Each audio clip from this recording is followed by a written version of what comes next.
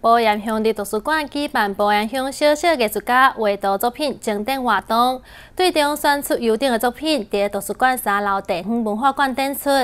希望透过展览，让囡仔自细汉就培养画图兴趣，让艺术文化向下扎根。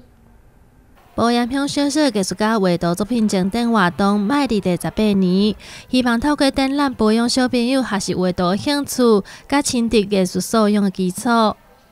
这个经典主题是我的家人甲阅读区，希望透过小朋友画出甲厝内人之间的互动，最终会当看到囡仔对厝内人的情感，甲斗阵时阵的情形。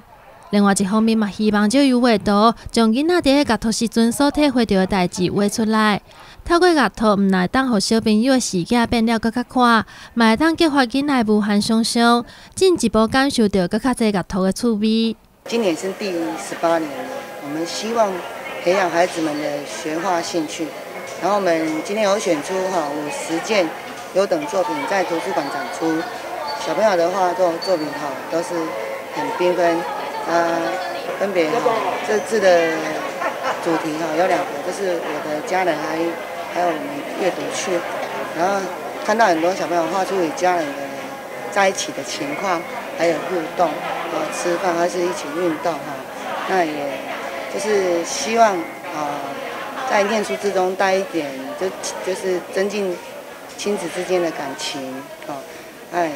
就是希望我们的孩子哦能借这活动，然后培育出小小艺术家，希望也就是一些文书的气息这样子。看到家己的作品的展览，学生拢真欢喜，感谢公司有这么好的活动。我画的是阅读去，我要传达的是。我和安天班的好朋友一起在阅读，然后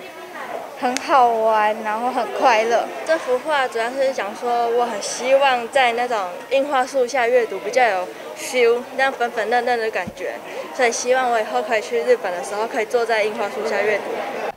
这届博雅乡小小艺术家联展，登记到五月三十号，欢迎有兴趣的民众前往图书馆三楼地方文化馆，再回来欣赏小朋友纯真可爱的创作。